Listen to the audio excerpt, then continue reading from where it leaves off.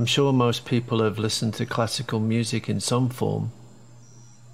That vast orchestra with various sections all placed together to produce beautiful music. Well, nature's got a huge orchestra with thousands of singers, instrumentalists, and chorus lines. Everywhere I go, I get to hear a new member of that band. Take, for instance, this bird called the tawny throated leaf tosser. He's a member of an orchestra I heard in South America. He's part of a soundscape that's played frequently throughout the seasons.